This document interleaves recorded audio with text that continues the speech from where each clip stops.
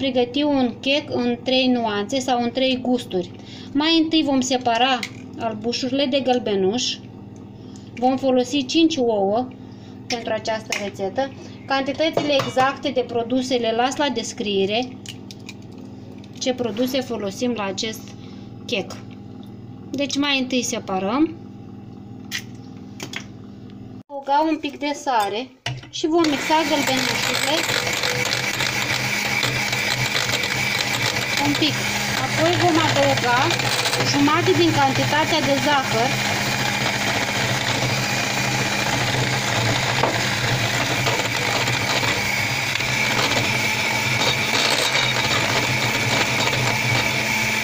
În moment vom adăuga uleiul pe care îl incorporăm ușurel în compoziția de gălbenuș. Apoi, următorul pas, când s-a încorporat bine uleiul, adăugăm frișca lichidă, la fel ușurel incorporăm în masa de gălbenuș. În această compoziție vom adăuga praful de copt și făina.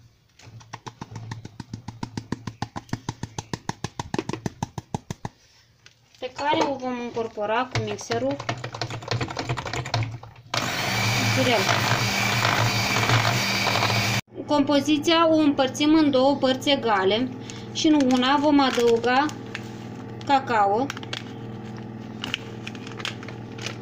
pe care o mixăm, o incorporăm în compoziția de gălbenuș pas este să batem gălbenușuri. În gălbenușuri am adăugat un strop de sare și le vom mixa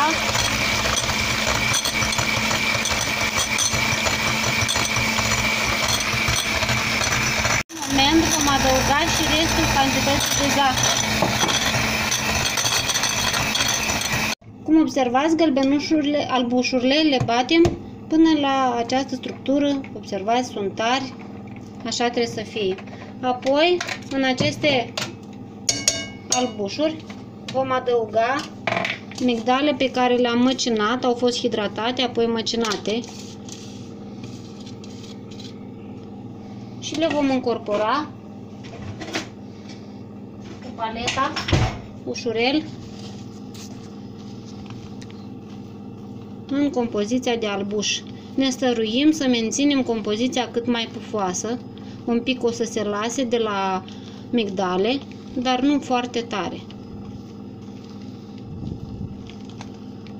Și aceasta va fi a treia compoziție. Cum am spus, facem un chec în trei gusturi sau trei nuanțe. Avem de cacao, avem simplu și cu migdale.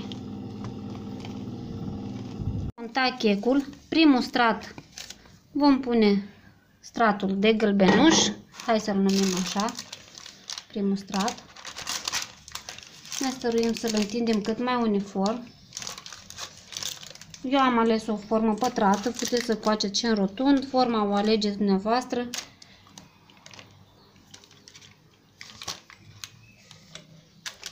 A doilea strat vom crea stratul cu cacao.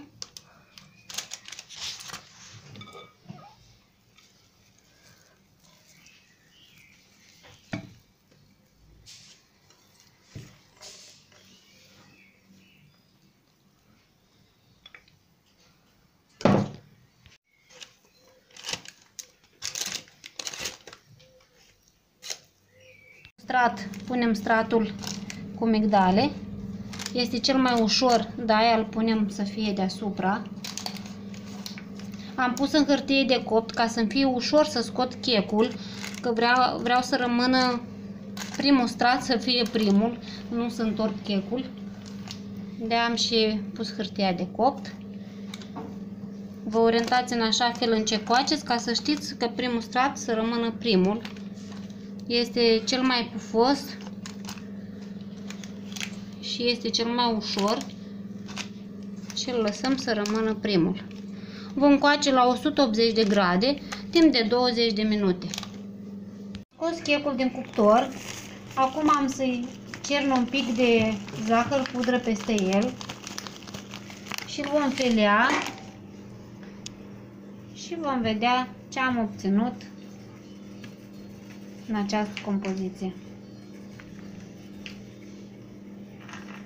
Așa arată în interior. Este un chec foarte fraged, foarte gustos. Vă recomand cu drag să încercați această rețetă. Se face ușor și nu este foarte scump la pregătit. Vă mulțumesc că ați fost alături de mine și de această dată. Vă aștept și data viitoare.